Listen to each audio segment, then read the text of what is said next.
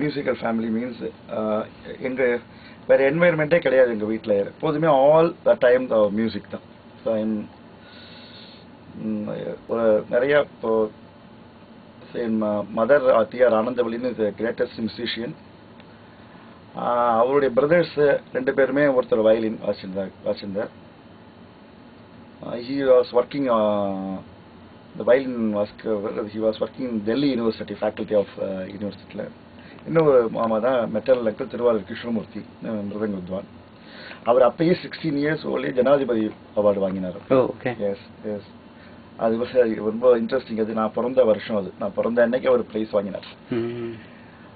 அது ஒரு இன்ஸ்பிரேஷன் எனக்கு எப்படி மிருதங்கத்தை வாசிக்கணும்? முதல்ல ஐ லேர்ன் வோக்கல் மியூசிக் நான் வோக்கல் மியூசிக் தான் கற்றுனேன் first started with vocal music அதுக்கப்புறம் அந்த லயங்கிறது ஒரு பெரிய சமுத்திரமான ஒரு விஷயம்.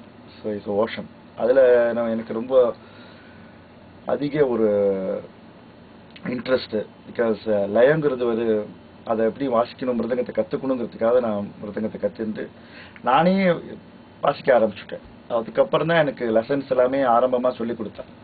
ஸோ அந்த அந்த மியூசிக் நாலேஜ் uh, இருந்ததுனால நான் அந்த எந்த சாங் பாடினாலும் அதை உடனே இமீடியட்டாக நான் அதை ஃபாலோ பண்ணி வாசிடுவேன் எந்த காலப்பிரமாணமாக இருந்தாலும் சின்ன வயசுலேயே. அதுக்கப்புறம் தான் அது கணக்குலாம் நிறையா இருக்குது ஸோ அதை தெரிஞ்சுட்டு வாசிக்க ஆரம்பிச்சது. அதுக்கப்புறம் தான் மாமா சொல்லி கொடுத்தாரு.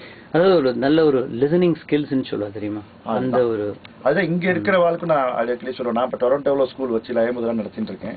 ஸோ இங்க இருக்கிற ஒரு அந்த மாதிரி யங்ஸ்டர்ஸுக்கு சொல்லிக் கொடுக்கறத பத்தி ஐ வெரி மச் இன்ட்ரெஸ்ட் ஏன்னா இங்க உள்ள கல்ச்சரே entirely different culture for the kids அவளுக்கு என்வாயர்மெண்ட்டே கிடையாது. என்ன வேற இந்த மியூசிக்கல் என்வாயர்மெண்ட்டுங்கிறது கிடையாது. இப்போ எங்க இந்தியாவில்னா நாங்கள் மியூசிக் கேட்டு கேட்டுட்ருப்போம் குரு வீட்டுக்கு டெய்லி போவோம்.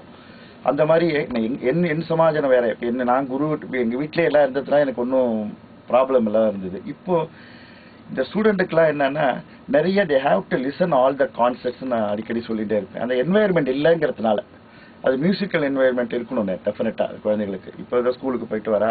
இங்கே இருக்கிற பேரண்ட்ஸ் ரொம்ப வந்த உடனே உடனே மிருதங்கத்தை வாசி பாடு அப்படிதான் சொல்லிட்டு இருக்கா. அந்த ஃபோர்ஸ் இட் ஆன் தெம் என்ன அவளா ஃபோர்ஸ்னு சொல்ல மாட்டேன் ஃபோர்ஸ்னு சொல்ல மாட்டேன். அவ வந்து நிஜமா என்கரேஜ் பண்றா. குழந்தைகளை என்கரேஜ் பண்றா. ஏன்னா ஃபோர்ஸ் பண்ணி இந்த மியூசிக் வரவே வராது. அவளுக்கும் ரியலா ஒரு இன்ட்ரெஸ்ட் இருக்கணும். இப்ப Chinmay வாசிச்சான்னா he is fully dedicated is very very ரொம்ப அந்த மாதிரி ஒரு அந்த மாதிரி குழந்தைங்களுக்கு அஹ், அந்த மியூசிக்கை சொல்லி கொடுக்குறதுனா we love to teach we love to teach அந்த மாதிரி தான் ஜெனிவனா இருந்தால் தான் கற்றுக் கொடுக்க முடியும். இல்லைன்னா டயத்தை வேஸ்ட் பண்ணிட்டு என் டயத்தையும் வேஸ்ட் பண்ணி அவர் டயத்தையும் வேஸ்ட் பண்ணுறதுல இட்ஸ் நாட் அட்வைசபிள் ஓகே இப்போ நீங்க உங்கள் முதல் முதல்ல ஒரு அரங்கேற்றம் அப்படின்னு எப்படி அந்த காலத்துல எப்படி இருந்தது? ஒரு நாற்பது வருஷத்துக்கு முன்னாடி நம்ம கொஞ்சம் ரீவைண்ட் பண்ணி ஓல்டன் டேஸ்ல இப்ப நாங்கெல்லாம் வாசிக்கிற போது அதுதான் என்வாயர்மெண்ட் சுத்தமா மாறிடுது மியூசிக் ஃபீல்ட்ல. இப்ப நான் எல்லாம் வாசிச்சுட்டு வாசிச்சுட்டு வந்தேன்னா அப்ப அந்த சாதாரணமா இப்ப எக்கச்சக்கமா ஒரு இப்ப என்ன பண்றா இப்ப ரெண்டு வருஷம் குழந்தை கத்துணுத்துன்னா உடனே பேப்பர்ல போட்டு சிடி எடுத்து எடுத்தாலாம் எடுத்து விட்றா எடுத்து தப்பு சொல்ல அவளுக்கு ஒரு ச- ஒரு ஒரு சர்வீஸா வாசி ஒரு பிராக்டிக்கலா இருந்து அவளுக்கு அந்த இது வரணும். அதுக்குள்ள அது அதற்குள்ள இவ என்ன பண்ணிடுறா உடனே அதை ரொம்ப எக்ஸ்போஷர் பண்ணிடுறா. ஓகே. இப்ப நாங்க அந்த மாதிரி அரங்கேற்றங்கிறது அந்த காலத்துல கிடையவே கிடையாது.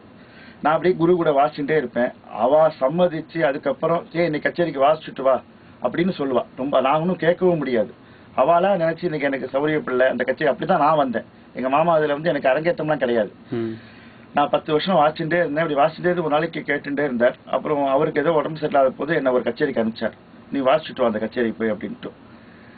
அப்ப கூட அது ஒரு ஜோக் இருக்கு.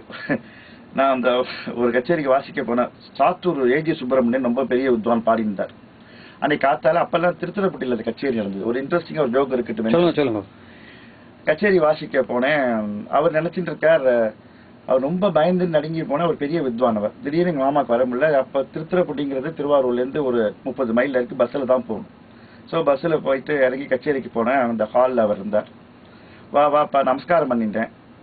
இந்த காலத்து அந்த காலத்து நமஸ்காரம் பண்ணிக்கணும் பெரிய வித்வான்களை பார்த்தா வித்வான்களுக்கு இப்பெல்லாம் ஹாய் ஹவா யூ அப்படிங்கிற அது வேற விஷயம்.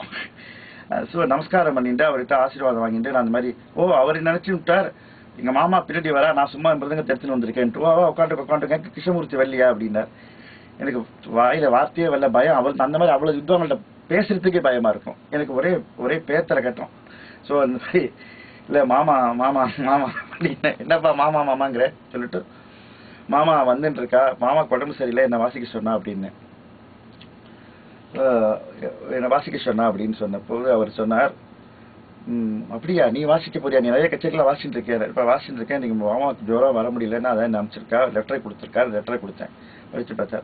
ரொம்ப சந்தோஷம். நீ எத்தனை வருஷமா வாசிக்க எத்தனை வருஷமா கத்துக்கிற கிருஷ்ணமூர்த்தி கிட்ட அப்படின்னார் நான் ஒரு பத்து வருஷமா கத்துக்கிறேன் ரொம்ப சந்தோஷம். ஆனா பத்து வருஷத்துக்கு நிறைய கத்து கொடுத்துருப்பாரு அப்படின்னார் ஆமாமா நிறைய கத்து கொடுத்துருக்காரு கத்து கொடுத்ததெல்லாம் இங்க வாசிக்காத. ம். கொஞ்சமா வாசிச்சா போறோம் தனியாவர்த்தனத்துல கொஞ்சமா ப- பத்து நிமிஷம் தனியாவர்த்தனம் விடுவேன். அதுல எல்லாத்தையும் கொஞ்சமா வாசிச்சா போறோம் அப்படின்னு சொன்னார். அந்த மாதிரி அப்போ நீங்க அது சொன்ன உடனே ஞாபகம் வருது ஒரு நெய்வேலி சந்தான கோபாலன் அவர் ஒரு ஜோக் சொன்னார் எப்படின்னாக்க வித்வான்கள் பாடுறா ம்ஹும். இப்ப பக்கவாத்தியம் அவ வாசிக்கிற மிருதங்கத்துல அப்ப அவருடைய திரும்பி இப்படி பார்த்தாராம். என்னன்னா நான் பாட்டுக்கு தானே வாசிச்சிட்டு இருக்கேன் அப்படின்னு. அதான் என் பாட்டுக்கு வாசி? அப்படின்னாராம். அவர் ஒரு ஜோக்கா சொல்வார். எப்படி நீங்க ஒரு சொன்னீங்க உங்களோட அந்த சீரியஸ்னஸ் டென்ஷன் எல்லாம் ஒரு ஜோக்கா சொல்லிட்டீங்க. ஆமா அது ப- அது அந்த ஸ்டோரியை சொன்னா நிறைய ஜோக்ஸ் இருக்கு. ஆமா. இப்போ அப்படி தொடங்கினது இப்போ நீங்க பி எஸ் நாராயண சுவாமி அவரை பத்தி சொன்னீங்க. ஆமா பிஎஸ் நாராயண் அப்படின்னா நான் ஃபர்ஸ்ட் டூர் அமெரிக்காவுக்கு வந்து எயிட்டி த்ரீல ஓகே அந்த சிமானான்னு ஒரு ஆர்கனைசேஷன் இப்போ இருந்துட்டு இருக்குது. ஓகே அப்போ வந்து டூ கான்சர்ட்ஸ் எம்எல் வசந்தகுமாரிக்கா வந்தேன். ஓகே அவர் வாசிச்சுட்டு டூரை கண்டினியூ பண்ணார் கிட்டத்தட்ட அந்த time we had thirty three concerts for two and half months three months total யூஎஸ்ல யூஎஸ்ல. எனக்கு was twenty six twenty seven years okay old okay அப்பதான் கான்சர்ட் டூர் ஃபர்ஸ்ட் டூர் கண்டதி அழகிரி சாமி பெரிய வயலின் வித்வான். அவரும் அவரோட தான் நான் வந்தேன். பி எஸ் நாராயணசாமி இப்போ செம்மங்குடி சிஷ்யர். ரொம்ப பெரிய வித்வான். அது கூட கொஞ்சம் அந்த டேப் கேட்கலாமா eighty three concept okay He sang